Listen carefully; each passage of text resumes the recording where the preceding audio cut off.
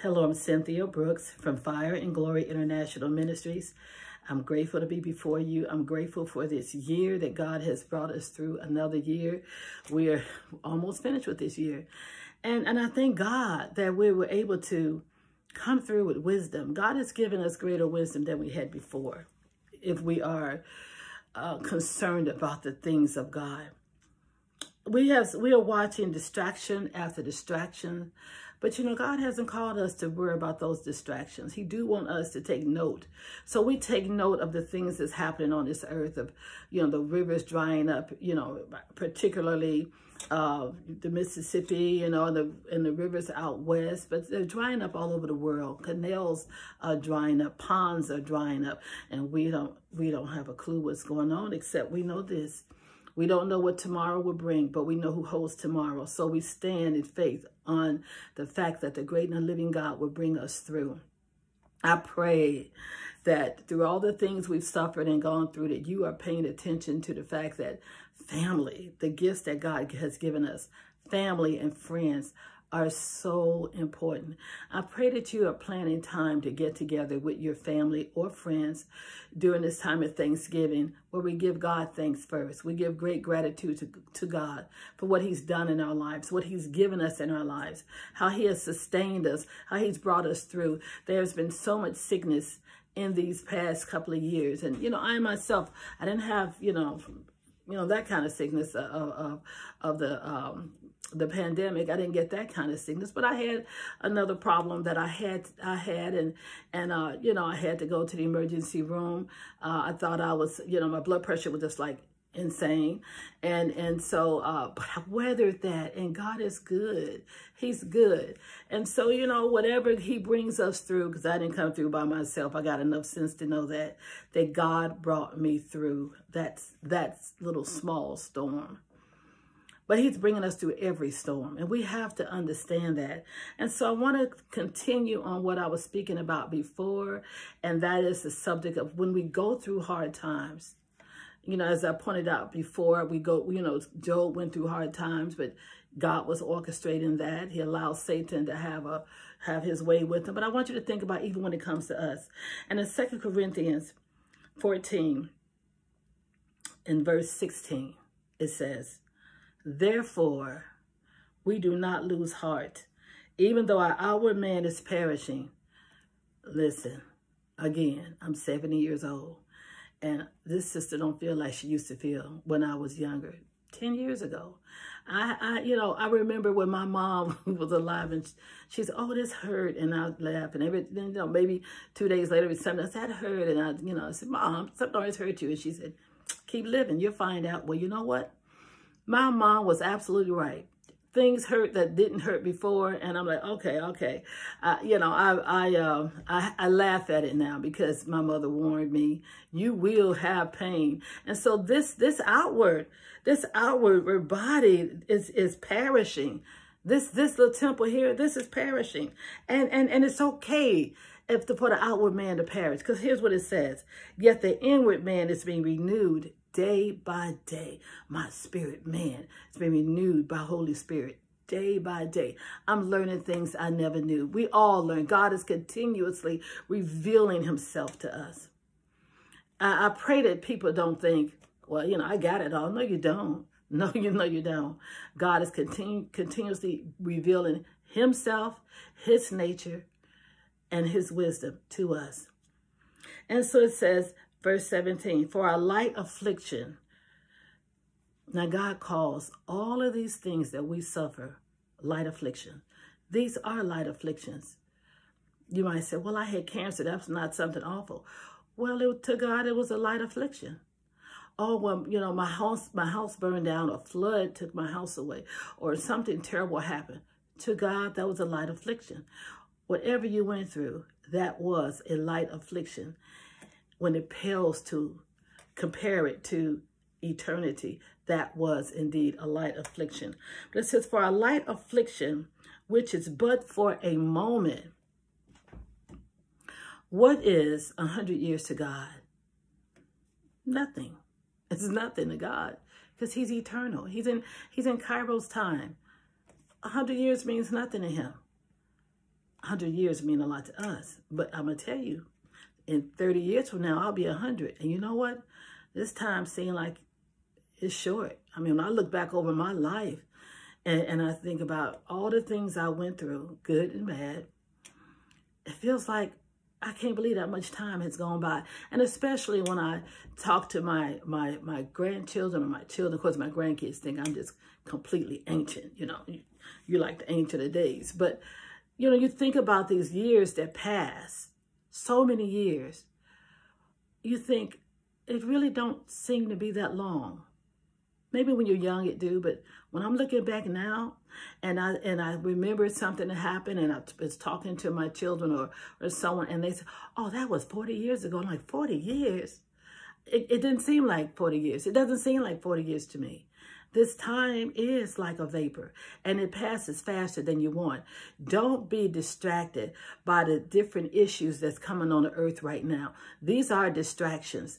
It is distractions when we take uh, people who are quote unquote famous or, or, you know, somebody big in the eyes of the world and we get all wrapped up in what they're saying or some philosophy that they have or whatever. Don't get caught up in that those those are just vain things. Don't get caught up in that. You know, the real thing is what's really happening. What time is it? Uh, as my as as the song you say, what time it is? What time is it in, in in the scope of history? Are you paying attention to what is happening out here? Not what man is saying, but the signs in the heaven, the signs on the earth and the signs under the earth. Are we paying attention? Because the signs are here. The signs that Jesus told us about, we are watching these signs. And I'm not saying this is it, he's coming back tomorrow, but he have signs. You know, my husband and I was going to California one year, and uh, we've we've gone several times, but this particular time we drove because I insisted. I thought it was going to be a wonderful trip. It was, in retrospect. But I wanted to see the terrain changing, you know, coming from, you know, Tennessee, going west, you know, I wanted to see how the, how the terrain changed. And so everything was really boring until we got to um, the western part of Texas. And then things began to change. And, and I, but I remember we're going to California now. We are going to Los Angeles area. There were no signs saying anything about California. It would tell us like maybe where the next Texas uh, uh, stop, you know, biggest city is, you know, and maybe, you know, as, and we were going through Texas, then you go through Arizona and it, and there's no, it was nothing saying that you're on your way to, to California. And then we got to, um, to uh, New Mexico, and that was the first time we began to see a sign. Now, this was years ago, but it's the first time we started seeing signs of how far California was. Now, all this time we traveled from Tennessee to New Mexico. We didn't see any signs that we were on the right track or how far California was or, or, or how close it was. We, we saw nothing. Now, we did have a map in our car because this is this predates your GPS days. There was a map in our car, but but we had nothing to really tell us that, wow, we're almost there. And then you get to New Mexico and boom, there's a sign. And that sign told us how far we were from California, from Los Angeles. We were a long way away. But I told my husband, hey, this is good. Now we have a sign. So I know now that we have the sign, we're closer. And then as we went through uh, New Mexico to Arizona, now the signs are definitely up there. And it's, and it's how we are now. We weren't in California yet, but we were getting close to California. And we went all the way to the, to uh, the Grand Canyon, and then we went south, going down through Phoenix, passing Sedona to Phoenix, down to Tucson, and went down, we got to uh, Interstate 10, I-10. Now, we see a sign that say Granite, California. And we knew now. Now we're on our way. However, we had to pass through lots of desert, lots and lots of desert to get to, before we got to even Palm Springs. But the signs were there. And I knew now we're almost in Palm Springs. We're, we're, we're not far at all. That's the way it is in time. Right now, right now. Pay attention to the signs. Because for all these years, we did not see the signs. We've had two world wars, but we still didn't see the signs. And now we're seeing signs in the heavens, on the earth, and under the earth. You're getting close. So if you're seeing the signs, this is preparation time. You understand what I'm saying? It's time to prepare your life because we're not that far away. The signs of the times, end time events, we're looking at them now. Just like I saw the sign that we were almost in California. I'm telling you, the signs are here now. And we don't know when, but we know now. We're seeing the signs. And people are wondering, oh, okay, the four horsemen, the four horse, horsemen of the apocalypse ran yet, or, or what's going on? You see the signs, okay? Amen? So I'm going back here. And it says, for a light affliction, which is but for a moment, in God's time is a moment. We suffer, you might have had something last you for years, still a moment. Is working for us a far more exceeding and eternal weight of glory. In these times of waiting, in these light affliction, it's almost sometimes feels like an insult. You go like, I've lost a loved one. I've I've almost died myself. I, I might be uh, incapacitated. I, I was in a car accident and I have terrible pain every day. Light affliction, everything, light affliction. My husband left left me and left with a bunch of, you know, left me with a, with kids uh, or, or whatever. You know, my husband died or whatever might have happened in your life. Light affliction. And it said, which is but for a moment. But what about that moment?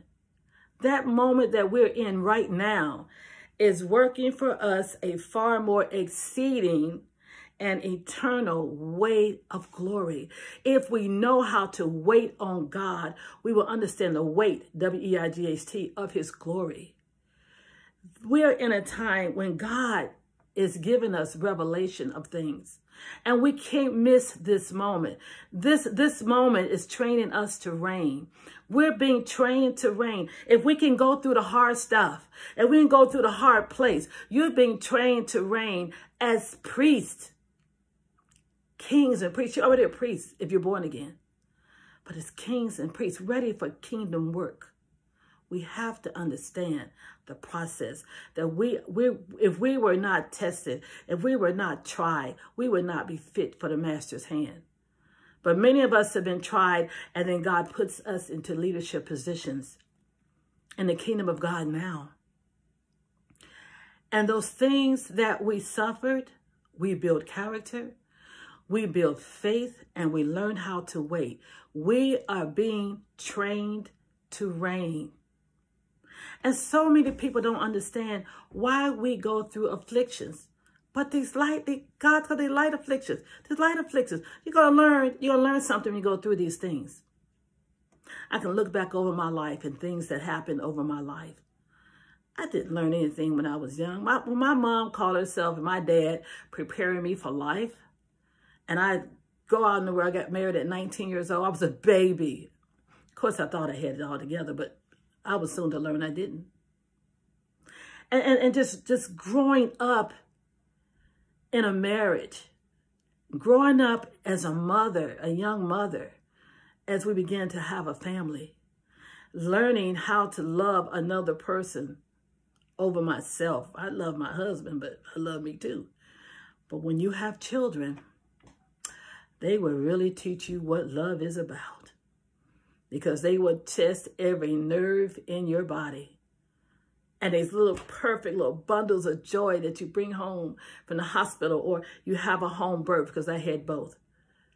And you see these beautiful babies and you think, oh my goodness, so, so, so oh, they're so beautiful. Pace yourself. Wait till they get to teenage years.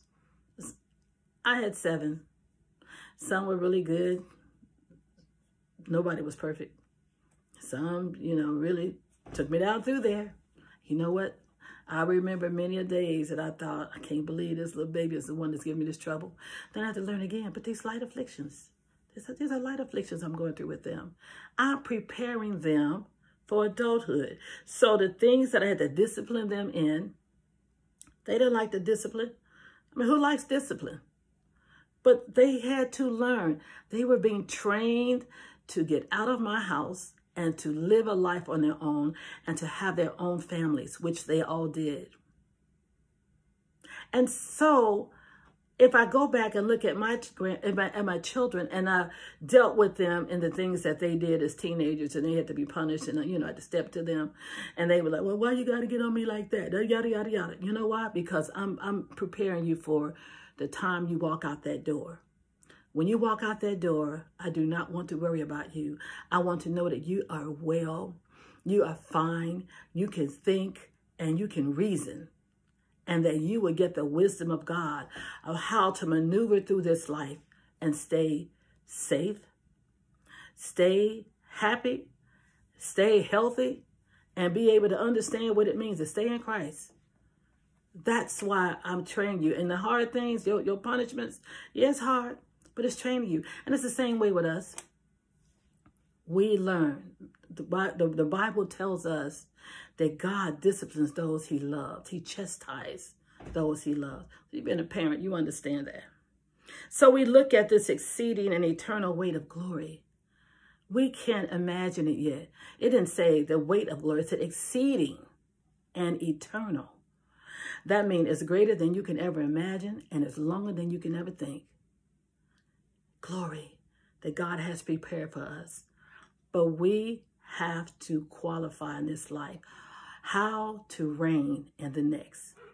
Even on this earth now, if you if God calls you into leadership in any area, you have to operate in character, godly character.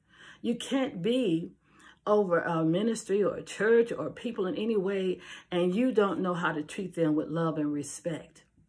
We have to understand godly character. And if you're not if you're in the secular realm in the world, you have to learn how to walk in, in the authority of being in the secular realm.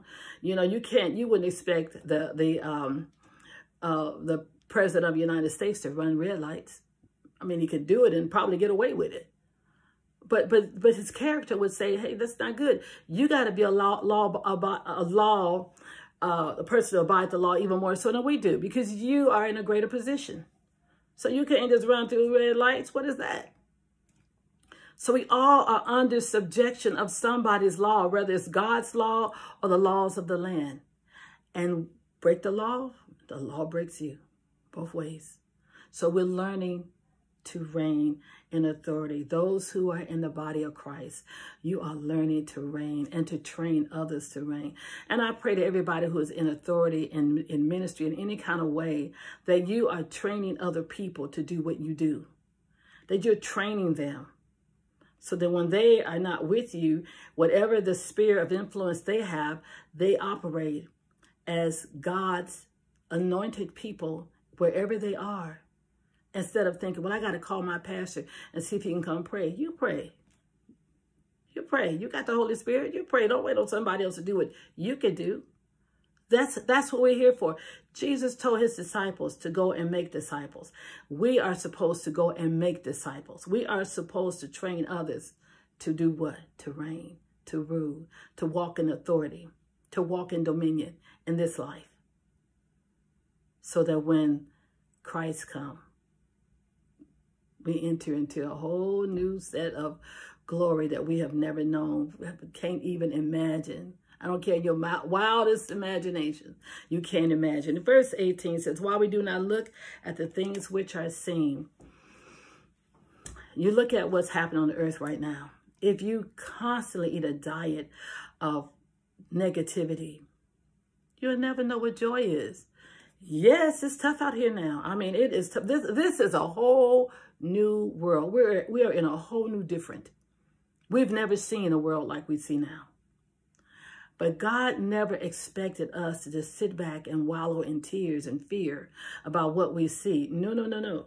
That's not your time. This is why we look not at the things that are seen, but at the things which are not seen. Well, what's not seen? The things of the Spirit. The joy that he wants us to walk in. The peace that he wants us to have. And we can't have that if we're constantly eat a steady diet of negativity. We won't have joy and peace and the love you know, whatever you do, it all boils down, boils down, do you know how to really love? And that means love people that's not like you. See, in this life, we have to, we, we are training to be overcomers. And there is, in the kingdom of God, no black or white, brown, yellow, Jew, Greek, none of that. One body. We're one body. One body. Not concerned about age or sex, but concerned about the fact that we are all, we've all been anointed, set apart, sanctified, justified by God to be ambassadors on this earth at this time, getting ourselves and other people ready to rule and reign. To rule where? In the kingdom of God. But even here on this earth now, whatever position that you're in, if you're if you're a supervisor on your job, if you are um, um, a pastor, if you are a CEO, you know, you're in corporate somewhere, wherever you wherever you work, you work at a fast food restaurant, you you know, you're a manager or something of that nature. You should be ruling in in a, in a place of respecting those who are under you. There should be respect. That's what you, we're supposed to teach. Can you respect someone else? Can you love someone else? Are you concerned about those who God has placed you over? Are you concerned about their welfare? Do we pray for these? Do we pray for those that's with us? You know, God has get we we have work to do. We can't get caught up in what the stars, Hollywood stars, or or or, or people out here in this world, what they're doing. That's not what God wants us to do. Get caught up in Jesus. Get all wrapped up in Him. These other things are just distractions. We, we're, we're concerned about what someone thinks. They're flesh and blood just like you are. What difference does it make what they think? What difference? Absolutely none. Absolutely no difference. What shouldn't matter to you whatsoever what they think. Because our thoughts are not man's thoughts. Our thoughts should be, what, what does God say? We are supposed to have the mind of Christ. We are supposed to think like him. He is love. He is love and he is life. And that's what we should be, the light and life. You know, sometimes, I remember I was young and, and, and you know, some people will come in the party. Oh, hey, oh, here they come. They, they, they're the life of the party. Well, they might have been life of the party. But you're supposed to be life for real. When people should be able to come to you, they're sick. And you pray for them. If they're down and you lift them up with encouraging words. If they feel like they're going to give up, pull them back up. Give them hope. Give them a word. Give them hope. Tell them who they are, who God created them to be. Nobody's a failure. Nobody is. And if they've messed up, show them how to clean it up and get get up. Dust off your knees and get up. Let's be about helping people. Pray for those who have no clue. These young people out here killing. Pray for these young people. They have no idea that if they are caught, they are giving up their life. they don't know what prison is about. Young people going into prisons 15, 16, 17. I could tell you about it, but I'm not because I'm going to keep this thing clean. For the things which are seen are temporary, temporary. What I see is temporary. You know, famous people come and go. You know, they got an expiration date like everything else. You can't get caught up in what some persons say. You know, people people build up hatred because of what some other persons say. Why? Have your own mind. Have your own wits about yourself.